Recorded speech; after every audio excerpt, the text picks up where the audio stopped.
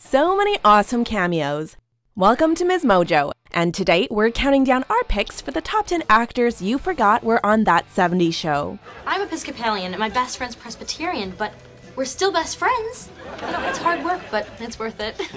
Before we begin, we publish new content every day, so be sure to subscribe to our channel and ring the bell to get notified about our latest videos. For this list, we're taking a look at celebrities who appeared on that 70s show during its 8 season run, whose cameos you may have forgotten about.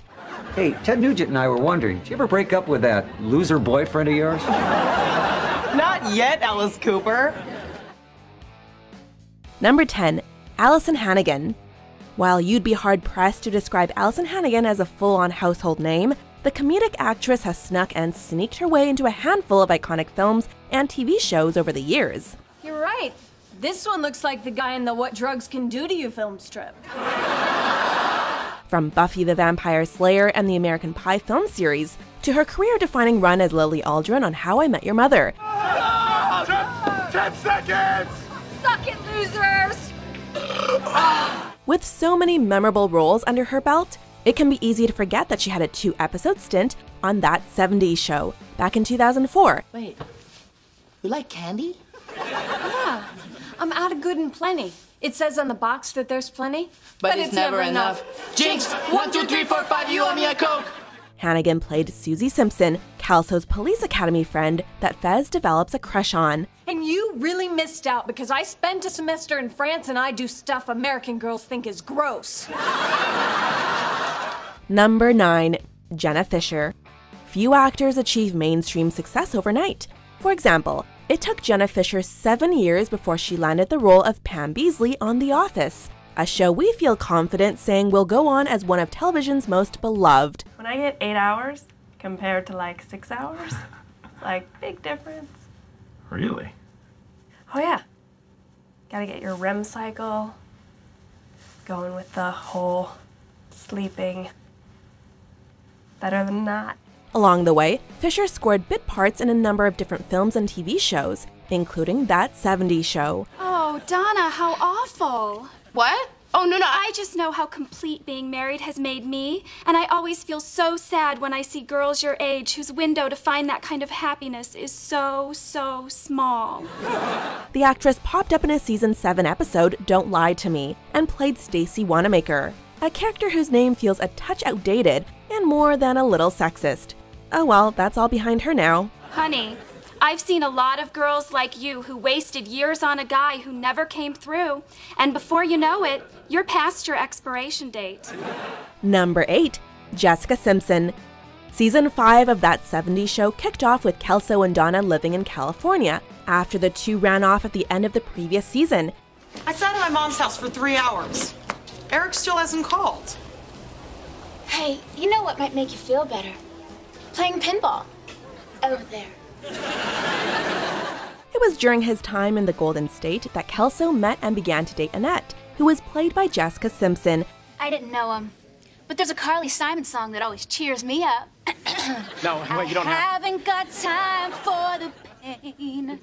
I haven't the room for the pain. I haven't the need for the pain Oh, that's great. anymore.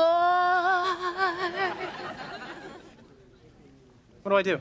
Do I clap? At the time, Simpson was one of the hottest pop stars on the planet, so her three episode arc was less of a career stepping stone and more of an attempt by the show's producers to cash in on her popularity.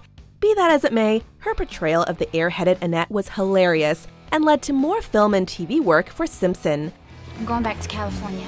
Baby, no. That I'll prove that I'm over her. I'll bet you 50 bucks that if we do it, I'll be into it. Goodbye, Michael. Number 7.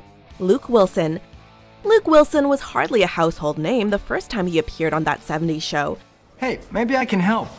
I always keep a spare case of beer in the Trans Am. Little tip I picked up in the Army. However, when he made his final appearance in 2005, he'd found mainstream success thanks to roles in Old School and the Charlie's Angels and Legally Blonde film franchises. As such, it can be easy to forget that he played Kelso's older brother Casey across six different episodes.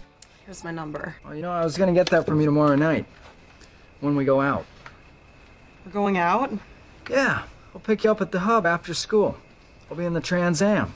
I love the Trans Am. Everybody does. Calm, cool, and collected, Casey proved to be the perfect romantic foil to Eric, stealing Donna's affection with his good looks and devil may care attitude. In the end, Eric prevailed, but fans were still clamoring for more Casey Kelso. You see, Forman, it's just words. You don't have to mean it. If you make her cry, I'm coming right back here to kick your ass. Number 6. Lindsay Lohan. Okay, I want the full Fez treatment. A wash, cream rinse, and a lot of that wiggly stuff you do with your fingers. it's magical. Abracadabra, baby. Let's face it, Lilo's public life, work, and image have gone through some changes since 2004, so it's easy for her that 70s appearance to have slipped through the cracks of our collective memories. Lohan played Danielle, a client that Fez attempts to seduce while working at a salon. Maybe I should blow off my date and go out with a guy like you.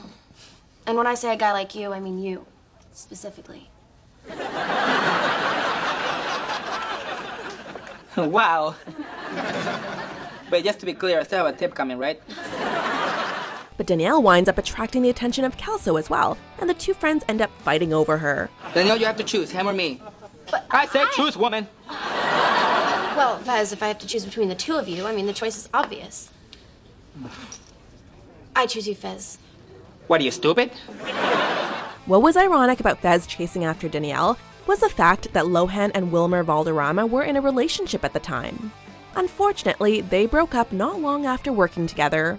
You're sensitive and thoughtful and understanding and very, very sexy. Lady, don't ever stop talking.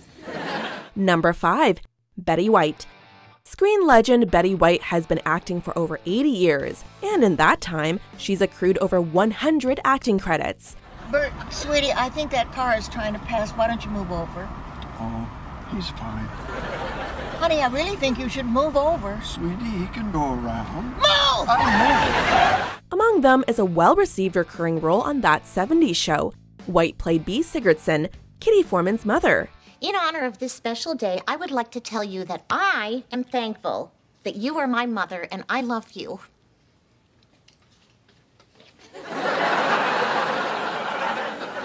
Isn't there something you would like to tell me? Actually, I would like some more tea. In true Betty White fashion, the character's sweet and innocent exterior is hiding a caustically sharp tongued critic, whose quick wit and criticism often puts her at odds with her daughter. Huh? How you doing? Oh, I'm fine. Mom, your husband, my father, is gone. You're not fine. You're right. I think I chipped a tooth on your manicotti. when I die, get a caterer. Due to the sheer volume of work that White has put in over the years, we doubt this role would land in her top 10 performances of all time. As such, it's easy to forget about her time on that 70s show. Mom, why don't you ever really talk to me? I told you I liked your cookies. I'm gonna find your father. Bert! Number 4. Joseph Gordon-Levitt.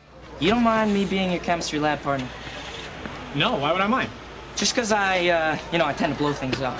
Joseph Gordon-Levitt only appeared in one episode of That 70s Show, but it was an attention getter. Joseph played Buddy Morgan, who, by attempting to put the moves on Eric, was revealed to be gay, despite owning a totally bitchin' Trans Am. Oh, hey, your car's still at school, huh? Yeah, you're damn right it is. I could drop you off if you want. Oh, yeah, sure. And hey, guys, I'm real sorry I forgot about you. Hey, did you want to drive? Hell yeah! When Buddy steals a date-making kiss, audiences were shocked, although less so than Eric himself. But it's not me. Mm-hmm. Even then, it was clear the ultra charismatic JGL was heading for mainstream success. But while he was originally meant to have a recurring role on the series, audiences were deemed reluctant to accept a homosexual character chasing Eric, resulting in Buddy and Gordon Levitt being dropped from the show. Listen, man, if you don't want to be my lab partner anymore, then I'll I'll understand. No, no. Oh, I didn't mean it like that. Um, look, we're still friends. Really? Yeah. Number 3. Cole and Dylan Sprouse. These celebrity twins burst onto the scene with starring roles on the Disney Channel series, The Suite Life of Zack and Cody in 2005, having already established themselves with roles in films like Big Daddy and shows such as Friends. The identical twins often split screen time by playing the same character, but not on that 70s show. I miss my friends. What? What? Stop it. Stop it! No, stop copying me. Stop copying me! I'm stupid. You're stupid. Damn it! The duo appeared together in season 4, hanging out with Kelso after he gets separated from Hyde, Fez, and Jackie while at an amusement park. Despite limited screen time, the Sprouse boys still manage to coax a laugh out of viewers, teasing Kelso while he waits for his friends to find him. Hey Einstein, you can eat that ice cream? My name's not Einstein. It's Kelso. And yeah, I'm gonna eat it. That's it! Number 2. Amy Adams. Who'd have guessed that the girl who played Kat Peterson in the season 2 episode Burning Down the House would go on to become one of the greatest actors of her generation?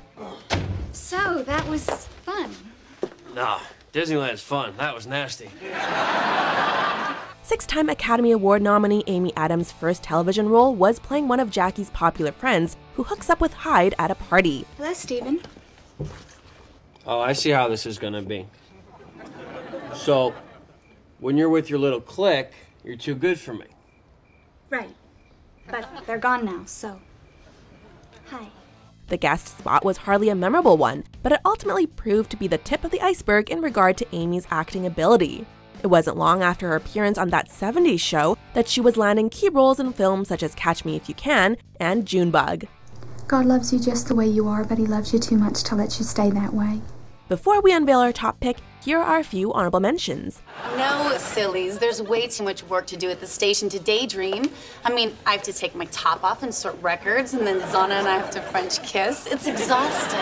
How can I be happy? Our whole life is a lie. I mean, am I really supposed to believe that Kathy's my little sister? She didn't look anything like me. She is Cuban, for Pete's sake! I'm Christy. And you are? Ferrari. Fast Ferrari. So, Vic tells me you used to be a cop? Uh, wait, I, I thought you were Vic. There's another Vic. Try to keep up. I, I, I frankly don't understand why any man would ever want to be with you. So, want to make out? Number 1. Dwayne The Rock Johnson. The People's Champion is currently one of the hottest movie stars on the planet today, but back in 1999, he was best known for the smell of his cooking. Mr. Johnson, you gave that team of midgets an ass whooping, sir. Well, you pile drive a little guy, and the whole crowd turns on you. And then when you're standing there wondering what they're booing about, you get bit on the kneecaps. Look at my knees. Midget bites.